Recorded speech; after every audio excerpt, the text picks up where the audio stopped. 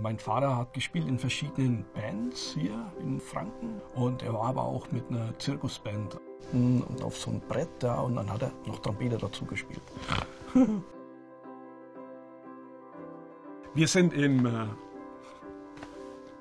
Büro von meinem Vater, der leider verstorben ist, drei Monate bevor wir unser 50-jähriges Jubiläum hatten. Ja, es ist wieder schön hier zu sein.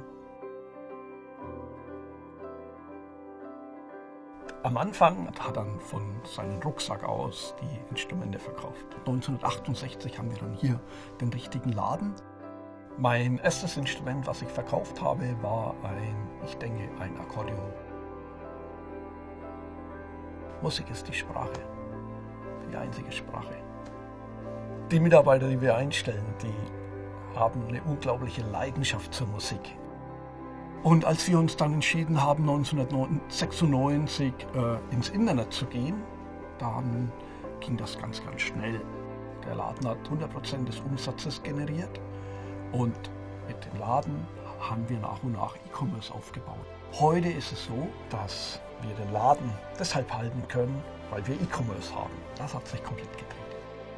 Und mit 7,5 Millionen Kunden sind wir sehr zufrieden.